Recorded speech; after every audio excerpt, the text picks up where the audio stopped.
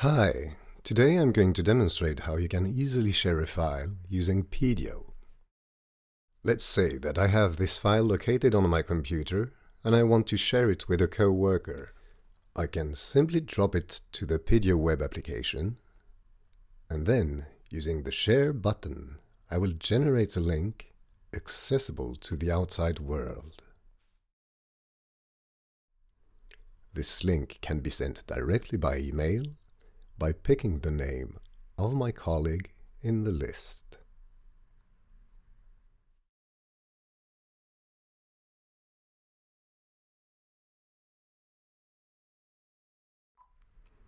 Closing the window, I can now see that this file is shared and I can get the link either by reopening the Share dialog or directly in the right-hand details panel.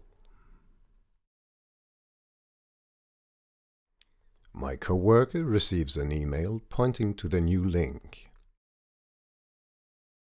And she will just have to click on the download button to retrieve the file on her computer without being registered into Pydio.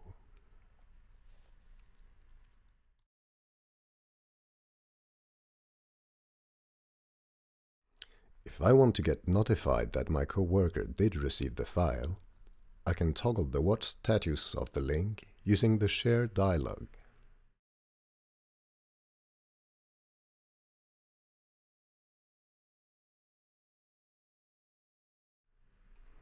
If the file is downloaded, for example three times, I will be alerted in the application and also receive an email.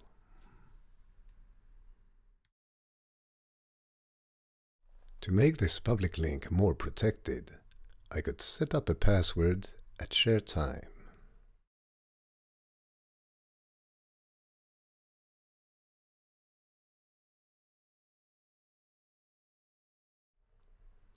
At the other end, people would see I have to know the password to be able to download the file.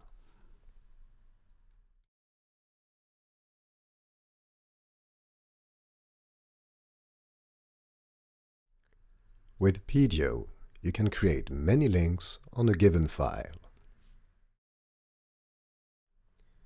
You could, for example, create a public link and a password-protected link, and that way track more precisely to who you send them and who downloads your file.